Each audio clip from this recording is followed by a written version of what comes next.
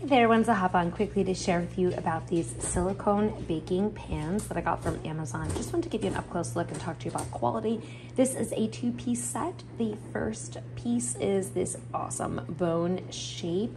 You can see that this is very flexible. Um, I do still like to put some non-stick spray in here so it doesn't stick, but it is nice and thick and well made. You probably might need something underneath to support it. Second piece is a paw shape, which I absolutely love. This is fun um, to make cake for your dog or even, you know, for a child's birthday party or something like that.